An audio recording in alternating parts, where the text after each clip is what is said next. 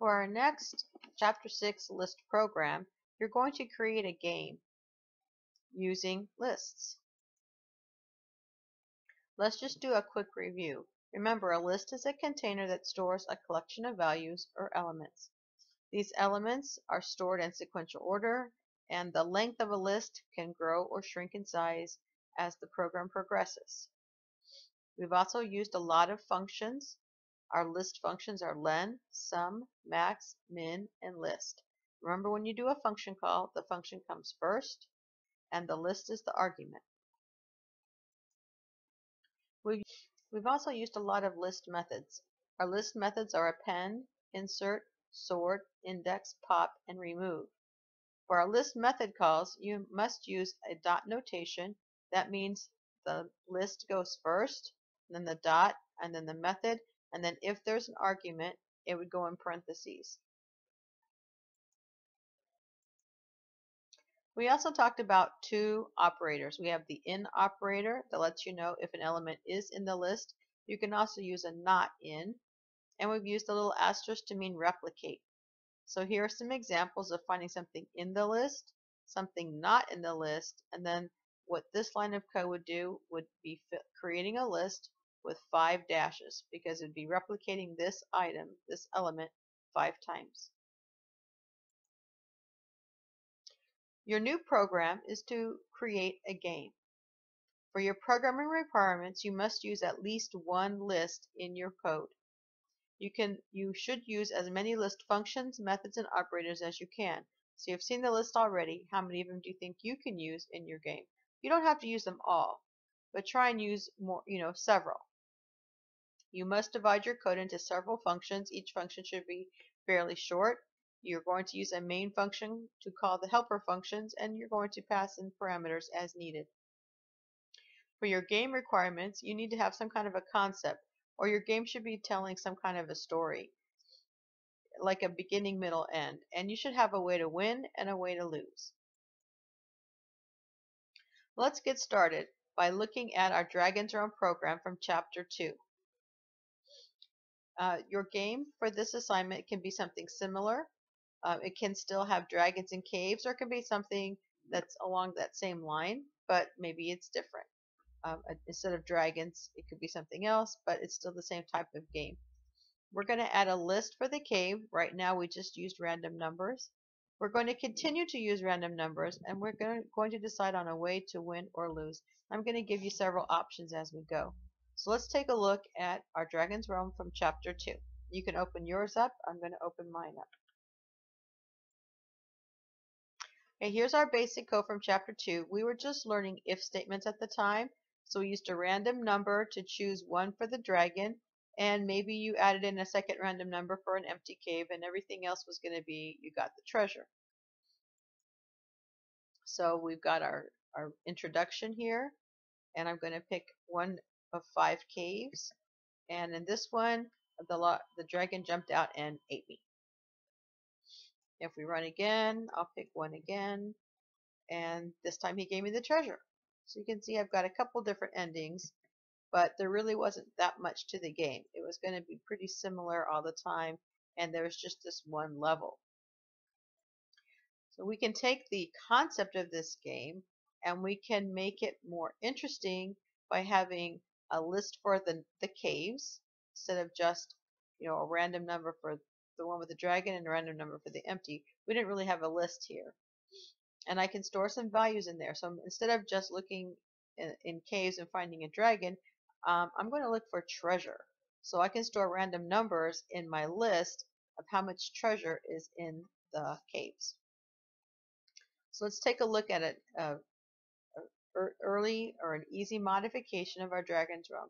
So I still have an introduction here. I've just taken out some things about the dragon. You're in a land full of dragons. In front of you are caves. The caves contain gold coins. Choose five caves. So I've set a parameter here. This doesn't have to be how you play the game, but this is an option where you're going to go five times and then stop and see where you're at. You could also just keep going until you die, or you could keep going and let them opt out. So just think about this. This is a basic game, and there are many variations to it. So the way I chose was to always pick five caves. And if I can collect more than 20 coins, I'm going to win. Less than 20 coins, I don't win.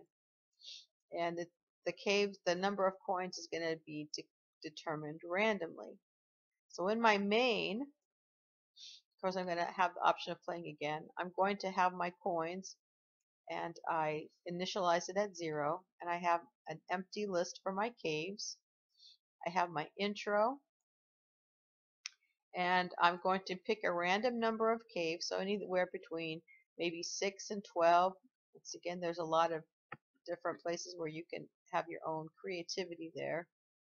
And I'm making this a return function but there's other ways of doing it as well. So I'm going when I'm filling in the caves I will return how many caves I filled so I um you know that lists always start with zero and I don't want to have a zero cave so when I fill my caves, I'm just going to append 0 to it. So there's going to be a 0 in index 0. And I'm going to ignore that for the whole rest of the game. So I have to have it. It's there. But I choose not to use it. I'm just filling it with a 0. So I'm always going to start with 1 to whatever. I've got a random number for caves. So I just chose between 6 and 12 caves. And so after I fill out the 0, my loop is going to start at 1 and it's going to go to number of caves plus 1 because remember a for loop doesn't reach the upper number. Then I'm going to just choose that it can have anywhere between 1 and 5 coins. I pick that random number and I append it. So I'm going to, other than 0, fill my list with random numbers that will represent the number of coins in my cave. And then I just return the number of caves so I can use it in the rest of my program. Now I'm going to basically play the game by having another return function here, select caves, and it's going to keep track of my coins. Remember I initialized coins. So let's go to select caves. I'm going to pass in a few parameters. I have the number of caves, the caves is my list, and I have my coins. I'm also going to return coins so I can kind of keep track. Now my counter is going to be because I said earlier that I wanted the user, the player of the game, to go to five caves. This is going to keep track of how many caves. I'm going to print the caves that are available. This is just a simple print. We've already learned two ways to print the elements of a list. I don't actually want to print the elements of the list because I do not want to give away how many coins are in the cave. I'm only going to print the index. So cave 1, cave 2, cave 3. So I'm using a for loop um, by value, even though I'm not printing the value, or by index. Okay, then um, I'm going to get their, their choice. Okay, so here I'm asking them which cave are they going to select. And is it their first choice, second choice, second choice, third choice, so on and so forth. If they've already uh, picked that cave, I want to say something like the cave is empty. Um, oh, after I, they pick a choice, I'm just going to have a message here. And I'm going to take the value now. So choice is the index. I'm going to find the value from that cave and make it into a variable, add coins. I'm going to print how many coins they got, and then I'm going to actually add it to coins. I increment my counter, and I'm ready to do this five times for the five caves that they're going to select. Then I just have to compare. In my ending, I just pass in my coins, see if they got less than 20, they lose, more than uh, 20 or more, they win. So it's fairly straightforward. And I ask if they want to play again. Over, over here, I've got a run already. And I've got my little intro there. You can choose five caves and avoid the dragon. I don't have a dragon yet. We'll add that in. And I have a random number of eight caves, one through eight. So let's pick cave one.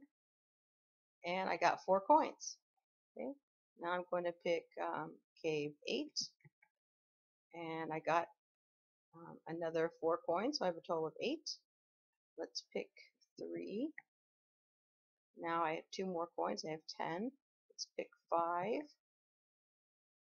And I got four, so I have 14. I better hurry up if I'm going to make it and I ended up with 15 coins I don't enough to win. So you have a basic game here. Now one of the pro and so if the, you get this far, you've met the requirements. You've got a list, You've used, you know, several functions, uh, not really any methods Uh, other than a pen, but you know, you've got a pretty good game going on here. Now one problem is you didn't really keep track of the caves that they selected. So what if I said cave 1 over and over again? If I found a cave with a lot of coins in it, I could keep selecting that. And the cave's not really going to keep having that many coins in it. So the next modification you want, might want to make is to remove the cave that they selected. And that would look something like this.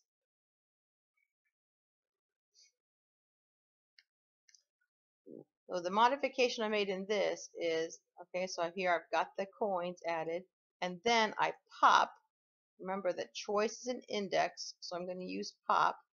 I just take it out. Now what happens when I take out that cave? Everything else moves down. So the number is still going to be there, but I can't pick the cave again. So just by this one little thing, I've added in another method. So that ups my score a little bit there. And now when I run it, first I have 12 caves to pick from, so I'm going to pick cave 1. Okay, and I got 3 coins. Now, now notice I do not have 12 caves anymore. So it still shows a 1, but it all of these just moved down. Now I'm going to use cave 7. I only got 2 more coins. And now I've decreased it to just have 10 selections. So I can never really pick the same cave again because I'm popping it. Everything else might be moving over but each one is a different cave. Now another thing I can do is make sure that I have to do a valid. So what if I've got 1 through 8 here? What if I tried to do a 10? Okay, I've got an error. So one thing you can do to improve your program is make sure you don't get any runtime errors like this. Check the choice all the time. Make sure it's a valid index. So that's one problem you might come across with remove is it is changing the length all the time. Now with the simple if statement, if the choice is greater than the length, then I might have some kind of an error message and have them pick again, you know. That wouldn't be very difficult to put in here. Another option is to use a second list to keep track of my selections. Now what I've done in my main program, I still have my caves, and I've also declared a second empty list called selections. And I'm going to keep it empty until I actually make a selection. Then I'm going to append it. So up here in my select caves, now I also have to pass in selections list, just like I pass in my caves list as a parameter. Everything else is the same here. But where I had um, the, the pop before, now what I'm going to do is take my choice and I'm going to append it to selections. So if my if the cave I chose was cave 7, I'm going to take the number 7 and append it to selections. Then if I choose cave 3, I would append 3. So the selections, it's kind of like with your dice rolls where the index meant something. This one, the values are going to represent the indexes of the caves that I chose. So I can keep track of that as I go. Now over here when I'm printing I've just added in the in operator. So if I is not in selections that means I haven't selected it yet I'm going to print it. If it is in selections I don't print it and that way it's only going to show you the caves that I haven't selected. Now I still might need, to do some testing because even though the cave doesn't select, if I'm being a tester, I'm going to try some of those caves anyways. And so you can use a, you know the in operator also up here. So when I've made a selection, I can just make sure that it's not in select. Otherwise, I can have an error message. Or, you know, don't get a runtime error, but display a message saying you've already selected that cave.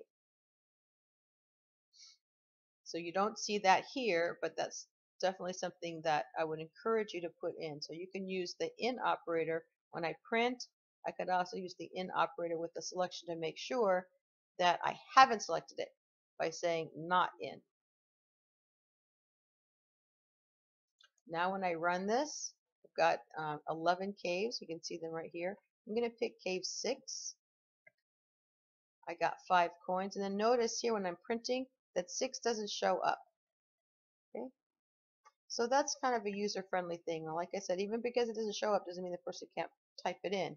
So you want to test for it, which you don't quite see here, but is a fairly simple thing to do.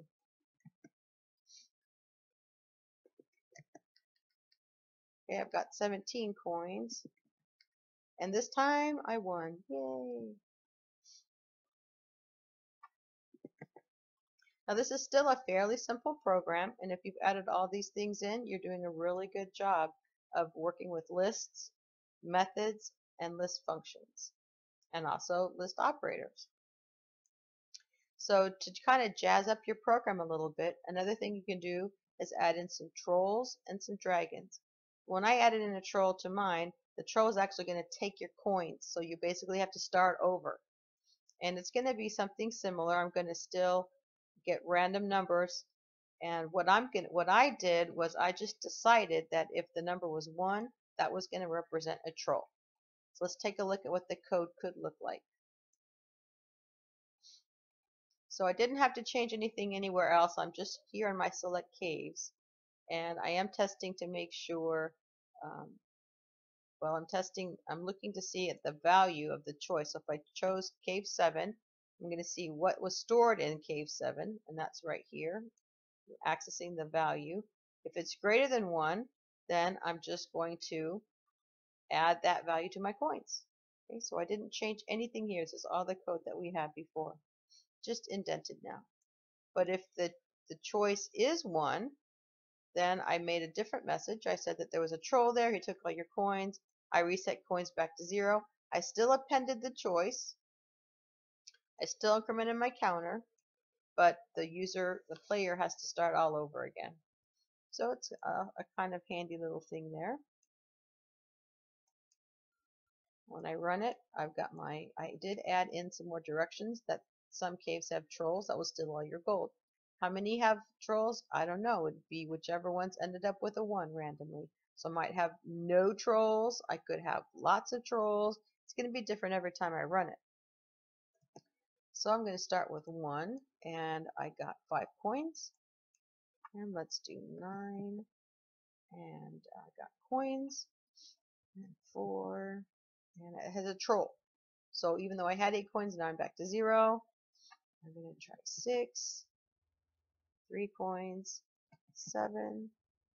I end up with eight coins. Now at this point, it's going to be a lot harder to get 20 coins. So you might want to decrease it. Maybe, and so you can see here that I was said 12. So I would need to change my instructions instead of 20 to 12 coins because they're going to have to start over again sometimes. Now, for even more variety, you can add in a dragon who's going to just kill you on the spot. So you might not even get to five caves. In order to do that, I just put in, I used another random number to choose one cave for the dragon. And it'll look like this.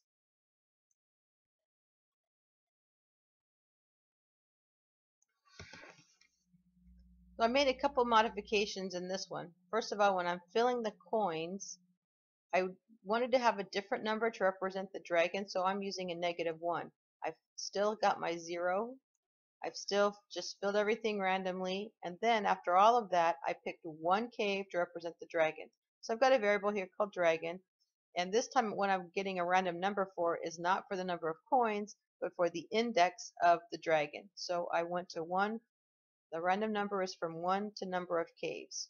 So if I have 8 caves, I'm going to pick from 1 to 8, so on and so forth.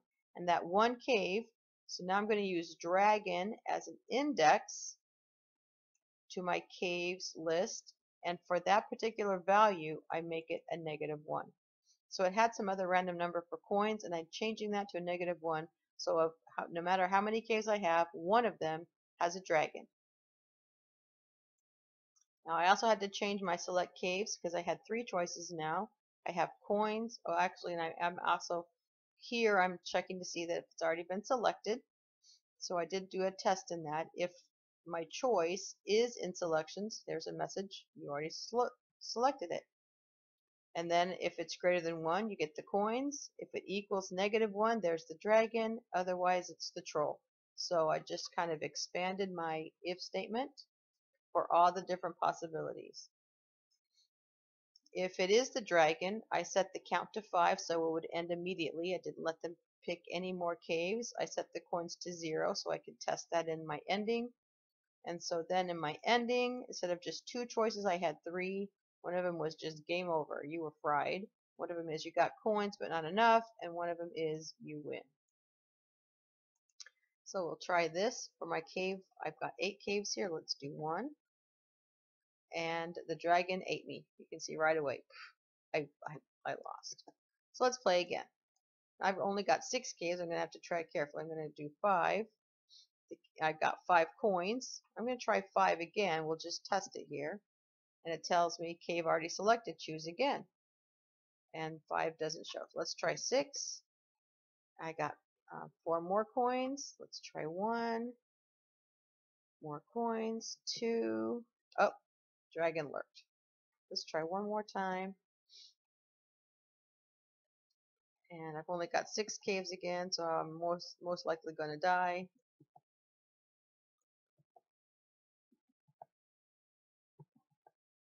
Oh, and I won. I better end on a winning note there. Okay, so that's like this takes you through the whole gamut of things that you can do. And then there's of course some other variations. You could put in just some simple graphics and you could also put in some levels. So here's an example.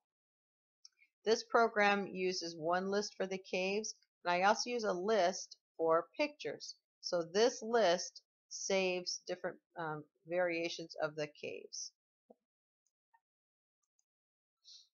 And here's my introduction. Fantasyland that has dragons. So you can kind of see the caves here they look a little bit, you know, humpish. And I've got the number written down to each one. Now I did this game a little bit differently. So instead of going into five caves, each one has a level. So first, my first, you know, journey has six caves, and after I pick one, it's going to open up a different level of caves. So in order to win, you need to get five treasures. Okay. Right now I see six caves. I'm going to pick one. Okay, and I have no treasures, and you, um, I, I started with no treasures. I entered cave one. It was empty. You continue to the back of the cave and you go down a tunnel and now I see five more caves. So see how this one has levels instead? It's just a variation. I need five to win. Let's try cave five. And I get some treasure. I use a simple little ASCII art to show treasure. Now I'm on seven caves. Six. Um, I got a treasure. Four more to go. That one was empty. Five, I got some treasure. And I hope that I don't find the dragon. Up, oh, dragon, I'm eaten. And the dragon is new, now two treasures richer, and I died. Okay, so that's another type of variation. And then one more, which I did fairly differently, and it just uses one list. And I made it more like a, it looks like a grid, but I, I actually have two lists on this one. One that's going to keep track of the number of coins in each room, and one of them keeps track of my location. So if I'm here, I, my only valid places to go are 7, 5, and 9. So it kind of keeps track of my location, and I have a separate list that keeps track of the treasures there. And when I play this game, I've got my little introduction because it should have some kind of a story to it. Um, the house has, um, I find a treasure map that takes me to this mystery house. X marks where you start, and I have you um, selected a random number where you start each time. So right now I'm starting at 1, so I can only go to 2 or 4, and I have to collect coins, and if I go to a bad room, I might lose my energy. So once again, different kinds of things you can do with your game. So let's go to room 2. It contained coins. I have 5 coins to add to my treasure. I still have all my energy. Now I'm over here. You see how the X moved? I have a list keeping track, and I'm going to go to 3. And it had negative energy, so I lost an energy, but I kept my coins. Now I can go back to 2, but just nothing's going to happen because the room was empty. And now I'm going to go to 5. Oh, negative energy. Um, let's go to 4. Coins, yay. Now I can go up to 1 or down to 7. Oh, coins, yay. And go to 8. And I win. And then it lets me play again if I want to. So there's lots of variations, lots of ways to lose, use lists. Really what you want to do before you even get started is come up with your concept, decide how you're going to use lists, and really get a good grasp of what you're going to do. Don't just sit down and start coding and then you're going to kind of code yourself into a corner and get completely lost. And nobody's going to be able to help you because you don't know. So kind of get it down in paper. You can even plan it before you come to class. What is your game going to be like? Start really, really simple, like the first one I showed you, and as time permits, add cool stuff to it. But the main thing is to have a concept and get a game. So start simple, get something to work, and then as time permits, kind of add the cool stuff to it.